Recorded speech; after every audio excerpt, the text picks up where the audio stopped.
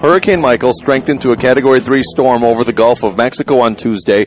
The storm is expected to hit Florida's panhandle sometime Tuesday. National Hurricane Center Director Ken Graham on what scares him about this storm. Yeah, a couple things here. So it's going to be a, a, wind event for sure, but at the same time, you still have this heavy rain. But th- there's something else I'm really worried about here when you look at this storm. This is a very vulnerable part of the Gulf of Mexico when it comes to the storm surge. And if you look at the shape of the coast, you get these little areas that are shaped like that. The water just gets trapped and it can't go anywhere. So the water piles up. And the other part is right along the coast is very shallow. So what happens is that water piles up really quick.